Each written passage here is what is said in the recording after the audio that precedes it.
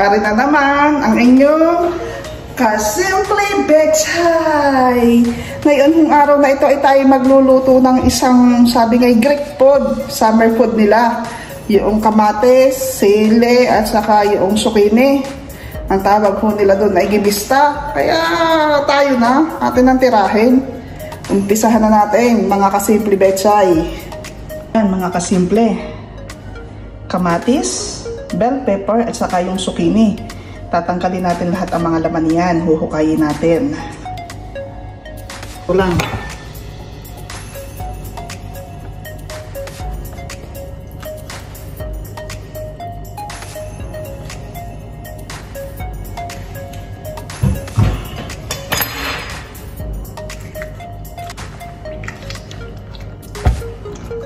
Nagamitin natin sauce ang ano lang, ang laman ng kamatis yung sili at saka yung sa zucchini tatapon natin.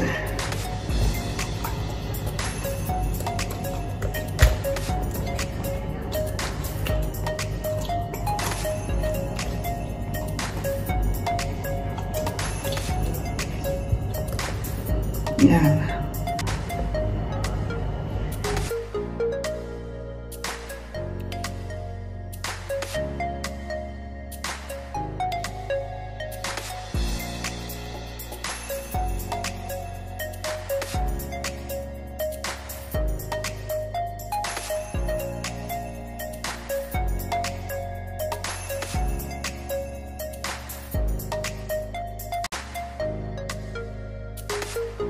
Naman yung sili.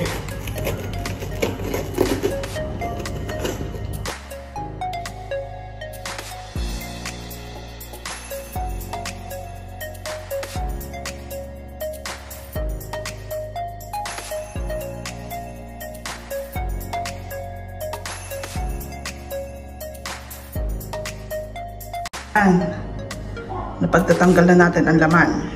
Lalagyan, papatakan natin ng konting asin maya-maya. Tingin natin yung iba. Yan. Ito yung laman ng kamatis, yung iba gagayakin natin kasi siyang isosos natin sa ating ano, gimis. Naman natin gilingin yung sibuyas. Walong peraso to. Walong buo, I mean. Yan. Gigilingin natin hindi masyadong basag. Yung, I mean, hindi masyadong maliliit na maliliit. Durog na durog.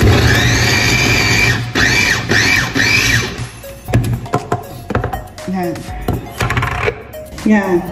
Ilagay natin ang sibuyas ng wala pang mantika. Hayaan lang natin na mag-evaporate yung katas niya.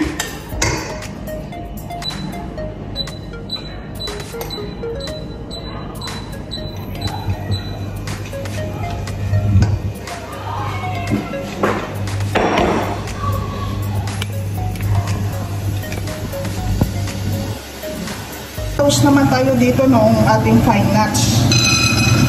Kung kunwari kung tawagin sa Greek. Pagkukulayin lang natin. Yung medyo golden brown.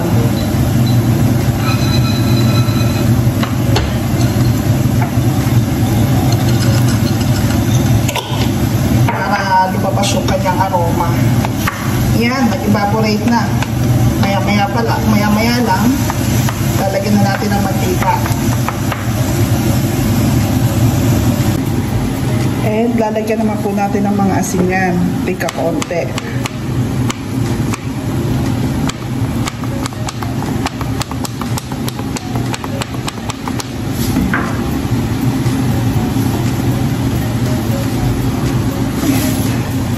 Ah, lagyan na natin siya ng mantika kasi nag-evaporate na yung kanyang katas. Oops.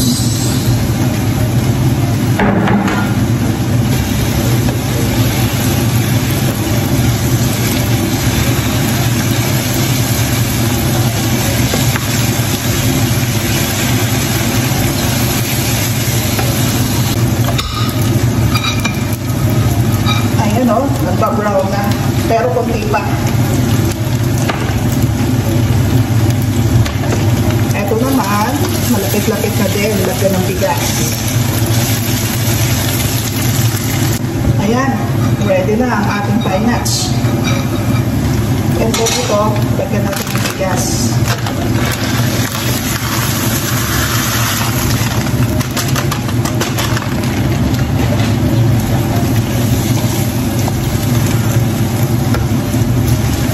Isa lang natin.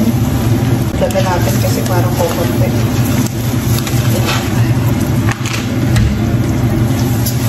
Lagyan natin ng paminta.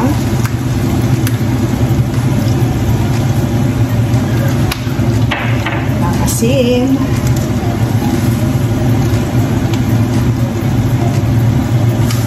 At haluin.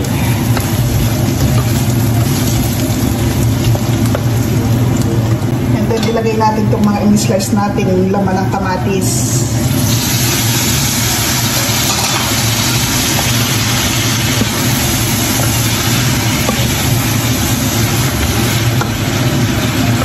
Kaya lang natin maluto ng mga 5 minutes. Saka natin ilagay yung iba. After 5 minutes, ilagay naman natin yung katas ng kamatis, yung giniling natin kanina.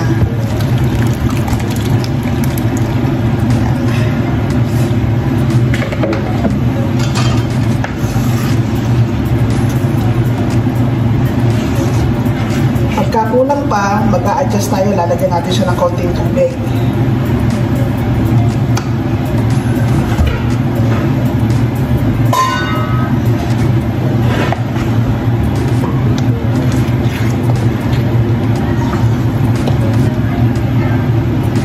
Ating takipan at hayaang kumulo. Yan, ating haluin. And then, ilagay natin ang leaves saka itong parsley.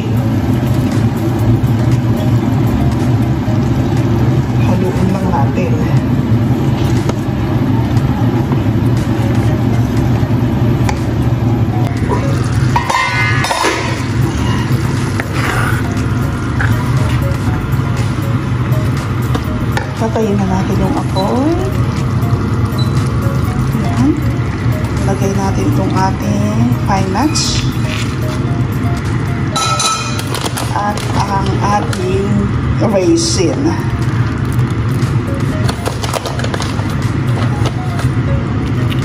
Yan. Haluin lang natin.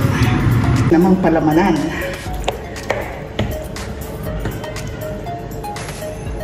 Yan. Ganyan lang. Preheated na ang ating oven mga kasimple.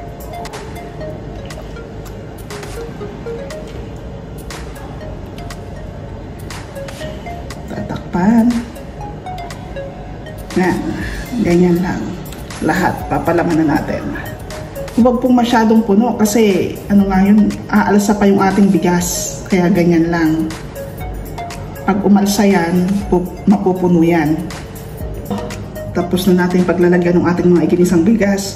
Yung mga gilid-gilid naman, lalagyan natin ng patatas. Nilagyan ko ng olive oil, konting tira ng sauce, yung kamatis, at saka salt and pepper. Yun, lagay lang natin sa mga gilid-gilid.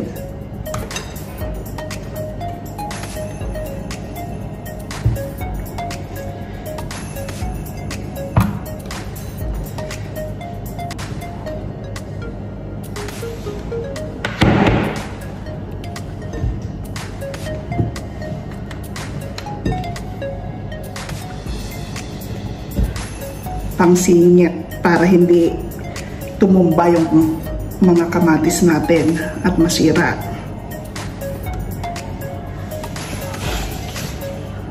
And then yung pinaka-sauce, lagay lang natin. Ito yung olive oil at saka yung kaunting tira sa giniling nating kamatis.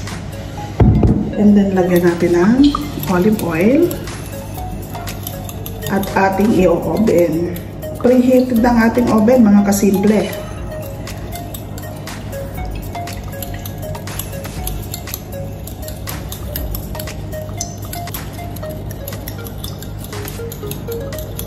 Yan.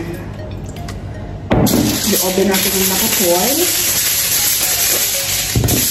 ng isang oras at kalahati and then saka natin tanggalin.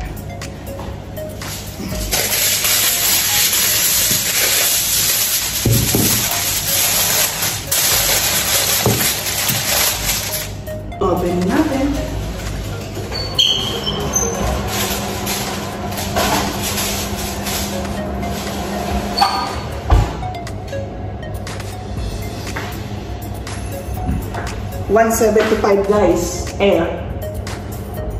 Mga kasimple. Nakaisang oras at kalahati na. Woo! Asbok. Natin ang aluminum foil. Ayan. Hayaan natin siyang kumulay. Makuha yung kulay. Ayan mga kasimple, luto na. Hanguin na natin. Ito na mga kasimple, luto na ang ating gimista. Sana pa'y patuloy nyo laging suportahan, i-subscribe, i-watch at share ang inyong kasimple betchay. Thank you, thank you. At sana pa'y may nakuha kayong idea din sa aking paglulutong are.